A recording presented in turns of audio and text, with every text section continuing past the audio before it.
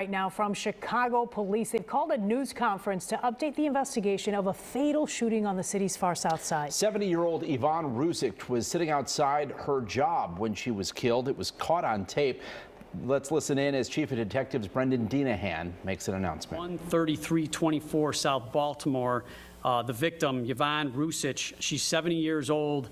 She's still working at that location.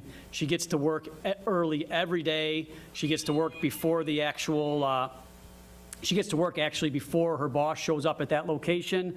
Her stepson drives to work with her, stays with her in like a separate car to make sure that she's safe. And then when the, uh, the owner gets there, then she enters, uh, you know, with the owner. So we have a 70-year-old woman who's still working extremely hard, and then her life is uh, tragically ended, uh, really for no reason other than, uh, than a car here. So what happens is she's waiting in the vehicle, and then her stepson sees a couple of cars. They drive past, they pull a U-turn, they're parking behind the victim and the stepson. At that point, the stepson kind of realizes something isn't right.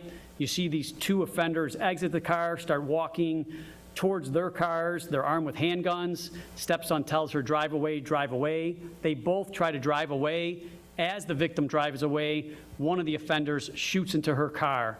At that point, she crashes. The offenders get back into their car, and then they actually drive up and shoot into the car uh, several more times. And some of this was actually captured on some pod video, and we pushed that out uh, with the help of the news media and social media. And once again, that definitely helped in this case.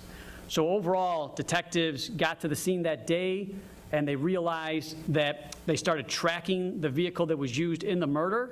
They backtracked that vehicle and realized that that car was carjacked, which once again led to a different crime scene. They realized throughout the course of the night, this group had carjacked or attempt to carjack several vehicles, which led us to several different crime scenes. We recovered a total of four vehicles with, eh, you know, during this investigation. Some of those vehicles, as I mentioned, led us across state lines into Indiana. And while we tracked these stolen cars, we obviously contacted the victims of those carjacking incidents to see if they could identify somebody. And then using technology, we kind of tracked these guys where they went uh, in the city to see if they in fact went into any sort of gas station or a better place where we could get, you know, pictures of them. As I mentioned, we pushed, uh, you know, the, um, the photos and the video we had out through the news media.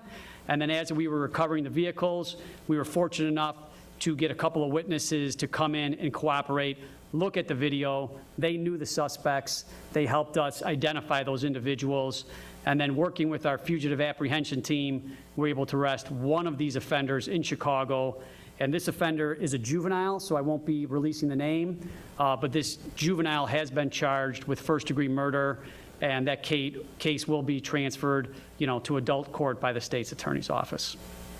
I know that was a lot of information, but I want to thank everybody involved, and then really just the thoughts should go out to the family here for uh, the victim. Once again, a 70-year-old victim, still working, going to work at 4:30 in the morning, and life uh, tragically ended, you know, just for trying to get a piece of property, a car.